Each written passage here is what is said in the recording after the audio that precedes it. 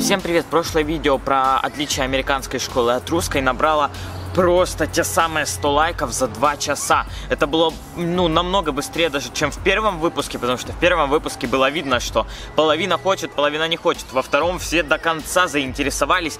Он набирает просмотров намного быстрее, чем даже когда я выпускаю какое-то видео по теме, которая сейчас популярная. То есть это показывает ваш интерес. Я как только выпускаю, за первые 5 минут вы набираете 50 просмотров.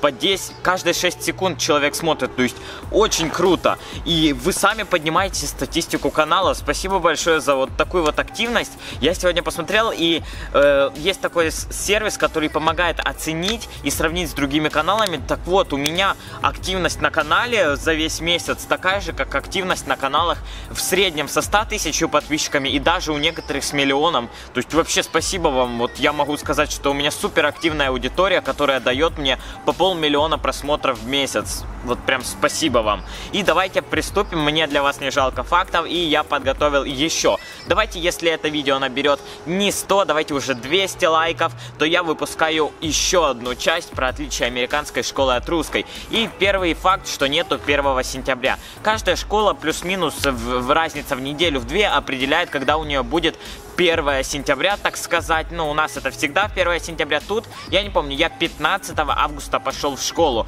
Это все потом там, тут больше каникул во время учебного года, поэтому именно те, те две недели августа, которые у вас забрали, потом уже потихоньку у вас возместятся каникулами, которые будут тут, потому что у них там день благодарения, день там еще чего-то. И вы вот так вот будете нарабатывать свои каникулы те же самые, которые вы типа пропустили в августе, не доотдыхали. И это тоже имеет э, свои плюсы. И также у них нет 1 сентября как праздника. Никто не стоит, не выступает, по новостям не показывают, везде прошло 1 сентября, все пришли с цветами. Я вообще не видел, никто с цветами не пришел. Да, я пришел получать расписание, и там типа показали, рассказали немного про школу, так как я типа первокурсник, так сказать, в школе, они называют фрешменом, типа, тебя, значит, ты первокурсник, это переводится как первокурсник. Дальше в Америке никто не учится с первого по выпускной класс в одной школе.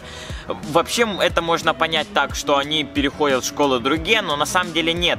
Э, у них такая система, что есть начальная школа с первого по какой-то там класс, я не помню, потом средняя школа, а, кажется, с пятого по восьмой и с девятого по двенадцатый. В прошлом выпуске я говорил, что у них 12 классов, так вот, я сейчас нахожусь в 9 по 12 класс, это высшая школа, и там учатся только те, кто, вы понимаете, с 9 по 12 класс. Поэтому обязательный цикл каждого американского ребенка это поменять три школы за все время обучения. Учеников в классах перемешивают каждый год по-разному, потому что даже сейчас у меня есть 6 уроков, и я вам рассказывал, что вы выбираете свои 6 уроков на год или на полгода, э, типа хотите, хочу на этот, на этот, выбирайте. И понятное дело, что у разных детей отличаются разные вкусы на то, как пойти в школу. Он хочет биологию и химию, ты не любишь ни биологию, ни химию, поэтому ты идешь на математику, геометрию, алгебру, типа, что хочешь, английский, языки.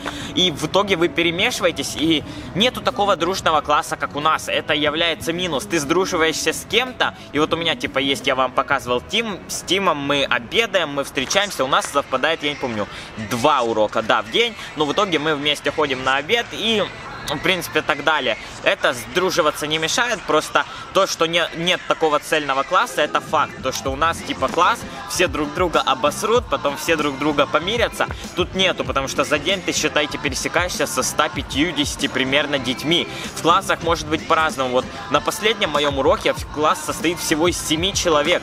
Э, потом на каком-то, я не помню, как называется урок, точнее, не помню, как его перевести. В общем-то, на нем вообще 35. То есть вот так вот колеблется по-разному. Э, и я не видел минусов того, что там много детей или мало детей. К доске не вызывают. Вот, кстати, к доске не вызывают.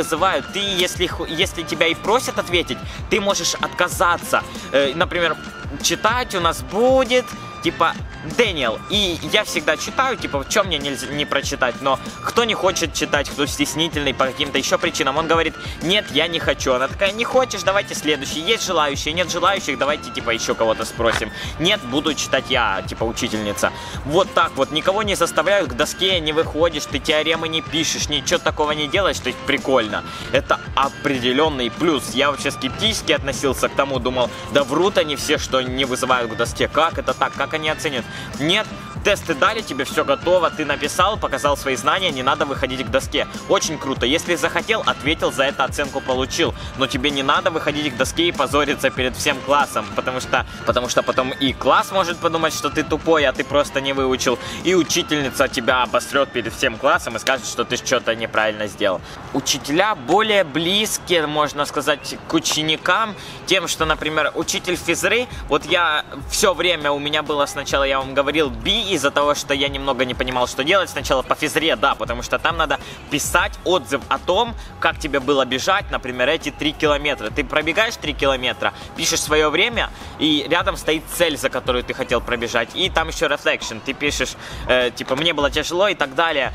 И я вот делал все правильно-правильно, и он, типа, такой, один день проходит, отмечает, типа, оу, типа, Дэниел Крут, what's up, бро, типа, молодец, чё, как, братан, ну, типа, у нас учителя так сделают. Нет.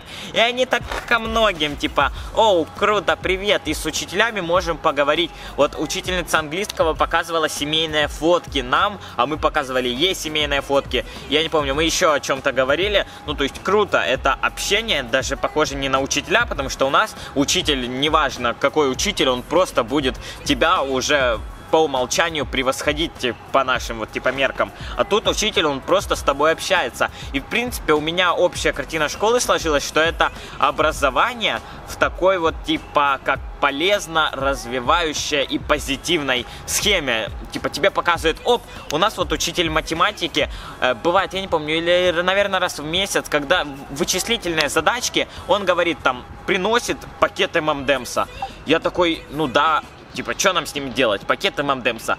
Он говорит, посчитайте и выясните, сколько в процентном соотношении красных, сколько синих, зеленых и так далее. Мы посчитали, э, он дал, типа, кулечек, мы типа поняли, как перчатка, а потом говорит, вы можете съесть их. И я такой, вау, их можно съесть. И в итоге, сколько у нас было, кажется, 100 с копейками ММДМСин на 4 человека мы поделили в нашей команде и по 25 ММДМСин. Это то есть нормальная такая жменька. И отлично. То есть было приятно. Приятно, что учитель. И на днях тоже, типа, кто первый решил задачу, он типа конфету. Это типа, знаете, как мне нравится то, что мне, мне короче, нравится учиться. Это все переходит в такую форму, когда ты задумываешься, типа, я это сделаю, чтобы, типа, ну конфетка, ну казалось бы, придешь домой и съешь ее но в то же время в школе, типа, оп, о, конфетка, я бы не против, не отказался. И в итоге выходит, что мне нравится учиться. И я в Украине такого никогда не сказал. В классах нет нормальных в нашем понятии парт и досок. Доски вообще я видел только в некоторых. И то нет у них доски с мелом. Вообще нигде не видел мел. Маркер и доска маркерная. Все. Это единственные доски, которые у них есть. И то не во всех кабинетах, потому что везде стоят проекторы.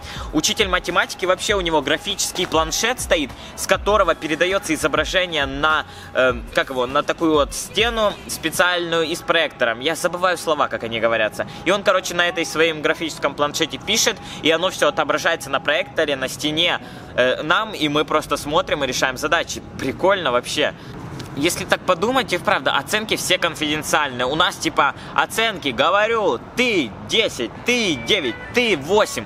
Тут нет, она не говорит. Я вот задумался от этом только когда говорил материал. Ведь все-таки да, никто не говорит твои оценки на слуху. Даже когда нам говорили оценки, э, раздают листочек, ты смотришь оценочку. Не хочешь, не рассказывай. Конечно, эм, у меня хорошая оценка, я делюсь, да. Есть Angel, я вам его... А, я вам его видео не показывал, вообще очень смешной парень. Э, и у него плохие оценки, но он, типа, с нами делится оценками. Если хочешь, делись. Но, типа, знаете, дело конфиденциально. Хочешь, делись, не хочешь, не делись. Я показываю оценки, он может не показать. А то у нас в классе, ха, двоечница, ла-ла-ла. Никто тебя не обосрет. У тебя чисто конфиденциальная оценка, которую ты знаешь и можешь никому не говорить. Это плюс, наверное, ну, в принципе, всем, но если у тебя хорошая оценка, зачем ее скрывать? И последнее на сегодня это безопасность, вертолеты и все такое. Так называется мой подпункт.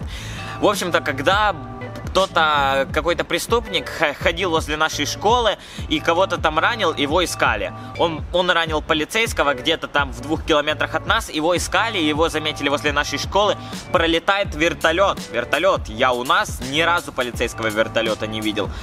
И начинает типа вжин, вжин, что-то снизу мигать. Э, один из учеников кричит коуч, коуч, три свистка, и все просто побежали. Побежали, знаете, централизованно. Если ты сидишь у себя в классе, тебя закрывают на замок в классе, шторы занавешиваются, все, безопасность. И вокруг э, курирует полиция и охранники. И вот мы, например, были на физре на природе. Ну, как сказать, на природе, на поле с травой. Э, и все просто побежали, и все. И нас закрывают, можно сказать, в бронированном спортзале. Просто изнутри, снаружи ты его не откроешь. И все, и мы в безопасности, и мы сидим, пока по рациям не скажут, можете выходить.